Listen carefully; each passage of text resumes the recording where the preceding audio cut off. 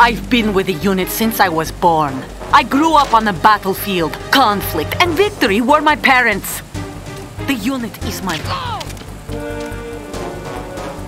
We've shared everything. All the...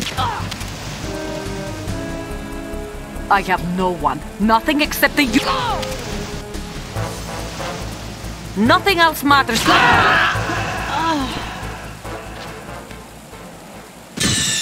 Stop kidding around.